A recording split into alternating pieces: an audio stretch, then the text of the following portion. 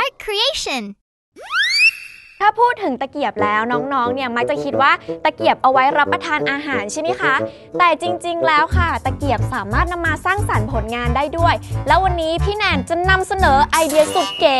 ด้วยการทำโคมไฟตะเกียบเกียบเกียบเกียบเกียบเกียบอ่าบางคนไม่เชื่อ แล้วก็ไม่รู้ว่าทำได้จริงไหม เรามาดูอุปกรณ์กันเลยค่ะ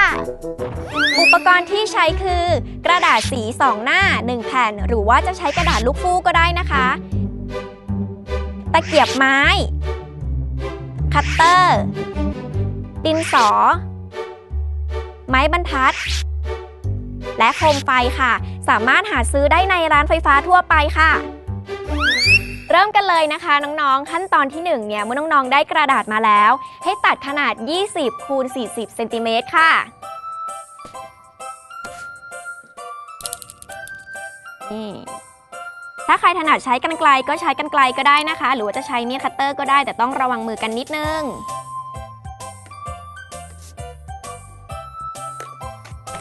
ถ้าตัดแล้วนะคะน้องๆก็จะได้กระดาษขนาดนี้ค่ะ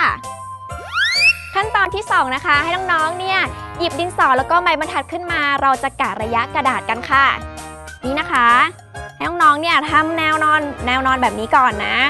ทิ้งระยะ 2 นิ้วนะคะ อ่านี่ใช่ไหม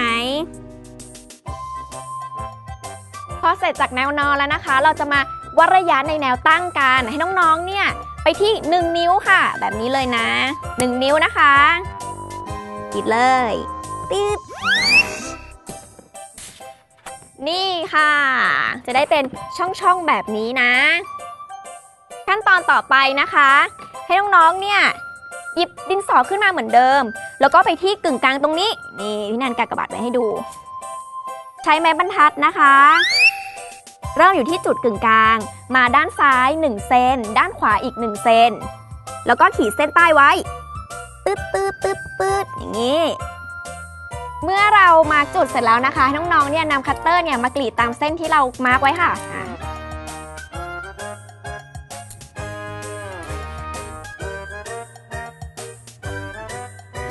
ต่อไปเราได้ใช้ตะเกียบแล้วค่ะให้น้องๆเนี่ยหยิบตะเกียบขึ้นมาเลย แล้วก็สอดไปแบบนี้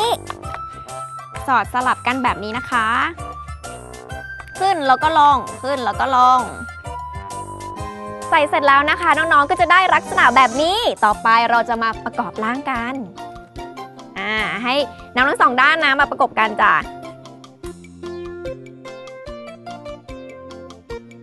แล้วก็หยิบตะเกียบขึ้นมาเลย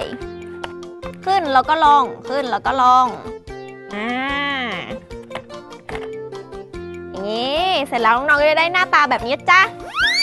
โคมไฟตะเกียบนะคะ จะสมบูรณ์แบบได้ก็ต้องมีหลอดไฟค่ะน้องๆ และลักษณะหลอดไฟก็จะเป็นแบบนี้นะ น้องๆ บางคนสงสัยว่าจะไปหาซื้อได้ที่ไหนนะคะ อาจจะไปซื้อได้ตามร้านไฟฟ้านะ ให้คุณพ่อคุณแม่พาไปละกันอะเรามาประกอบกันเลย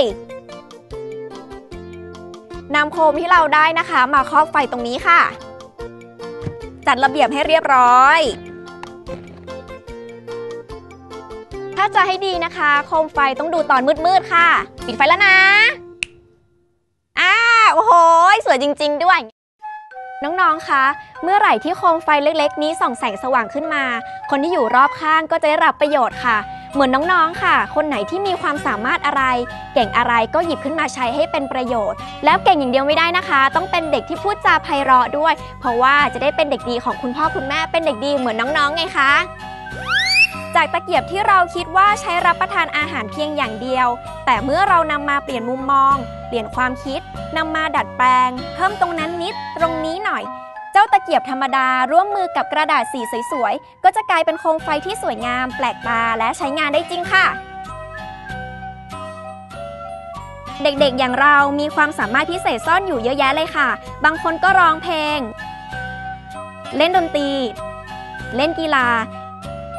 เมื่อมีความสามารถพิเศษอยู่ในตัวเรา เด็กตัวเล็กๆ อย่างเรา ก็สามารถที่จะเป็นคนสำคัญของประเทศในอนาคตได้นะคะ วันนี้น้องๆ ได้รับข้อคิดอะไรบ้างคะ เขียนมาเล่พี่แนนฟังได้นะ ที่ตู้ปอนอ25 อำเภอเมืองจังหวัดเชียงใหม่ รหัสไปรษณีย์